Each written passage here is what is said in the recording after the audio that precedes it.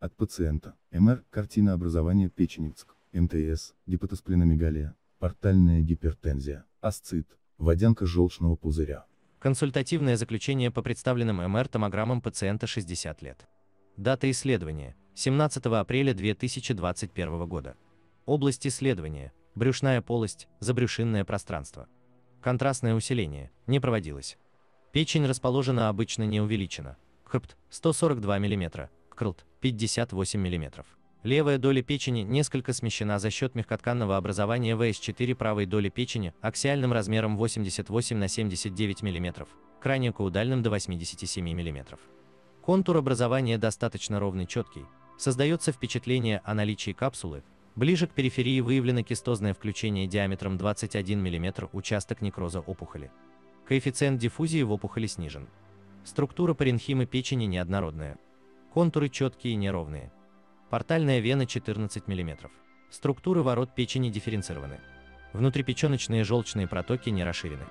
Холедах прослеживается на всем протяжении, не расширен до 5 мм. Структура в его просвете однородная. Желчный пузырь обычных размеров, формы и положения. МР признаки наличия конкрементов не выявлены. Стенки утолщены до 5-6 мм. Поджелудочное железо не увеличено. Контуры четкие и ровные.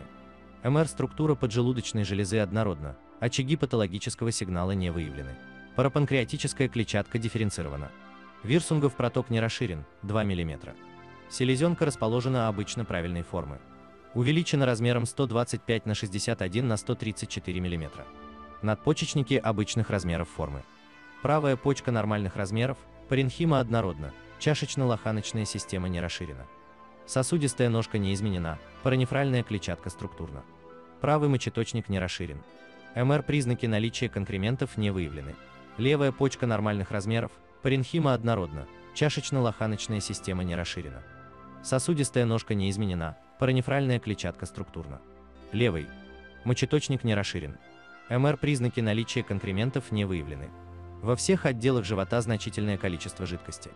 МР признаки выпоты в правом плевральном синусе. Заключение. МР картина образования правой доли печени, более вероятно ГРЦР, гепатоцеллюлярный рак, асцита, спленомегалии, портальной гипертензии, выпота в правом плевральном синусе. Рекомендована консультация онколога.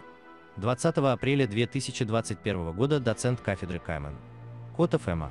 Комментарий врача-рентгенолога. В печени у вас есть образование, в правой доле, а не в левой. По своим МР-признакам с уверенностью можно сказать, что это ГЦР, гепатоцеллюлярный рак, а не метастазы. Также есть выраженный асцит, это неблагоприятный признак, может говорить о конце и роматозе брюшины. Этот момент можно уточнить с помощью КТ с контрастным усилением. Увеличен диаметр портальной вены за счет большого объема опухоли.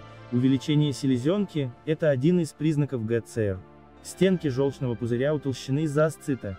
Это не самостоятельное заболевание, значения это не имеет. Вам нужно обратиться к онкологу. Такие опухоли оперируют и химиотерапию делают. Вопросы пациента. А как так быстро эта опухоль развилась, ведь не было признаков? Это начальная стадия рака. Ответ к МН. Котова МА. Стадия опухоли не меньше трех.